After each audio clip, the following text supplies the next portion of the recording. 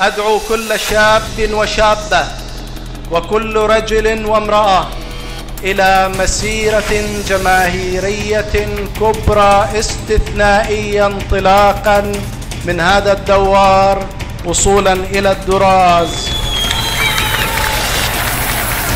من أجل الحرية والمساواة من أجل كرامتنا من أجل البحرين حرة كريمة حديثة ديمقراطية من أجل الوفاء لكل الذين ضحوا في, سبيل هذه المسيرة من أجل كرامتنا وحقوقنا العادلة ومستقبل أبنائنا ليرى العالم الأسبوع القادم إن هناك شعب عظيم وليس شرذمة قليلة يطالب بحقه وهو على استعداد للمضي في المطالبة بهذا الحق حتى النهاية إلى الأسبوع القادم.